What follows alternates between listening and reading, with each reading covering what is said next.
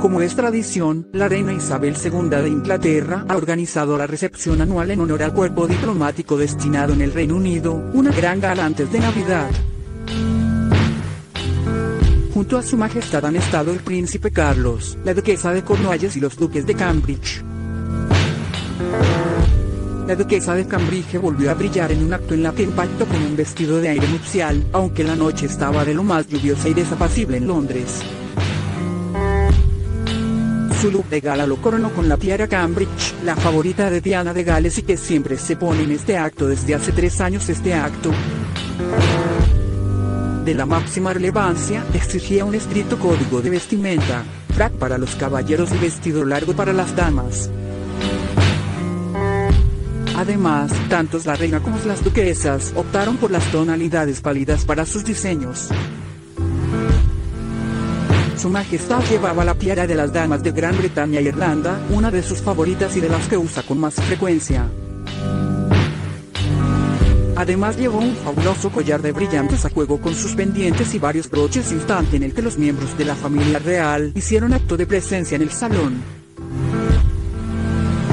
La duquesa de Cornualla lució un impresionante vestido blusión de piel, que suele ser una de sus siluetas preferidas. Al igual que la reina, la esposa del príncipe Carlos también se decantó por el color blanco y la manga larga. La reina saludó a cada uno de los embajadores y representantes diplomáticos que acudieron a su cita en Buckingham.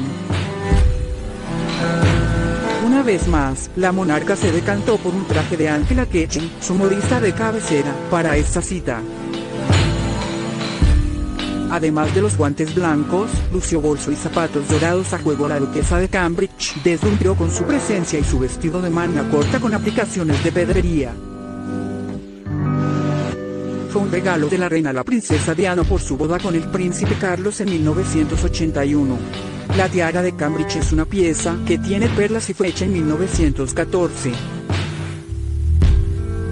La madre de los príncipes Guillermo y Ari la lució en un sinfín de ocasiones y rápidamente se convirtió en su favorita este martes. Ha sido de lo más ajetreado para los duques de Cambridge.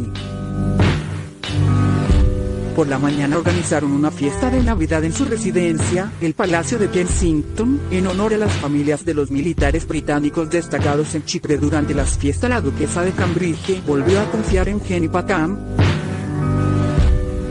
de sus firmas preferidas, para las grandes ocasiones y volvió a lucir su melena morena recogida a primer plano de la duquesa de Cornualles, que eligió la tiara Greville, realizada por Bocherón. Al igual que las otras mujeres de la familia real, también es una de las que más le gustan y más se pone. Combinó esta magnífica pieza con unos pendientes de perlas y un collar, también de perlas.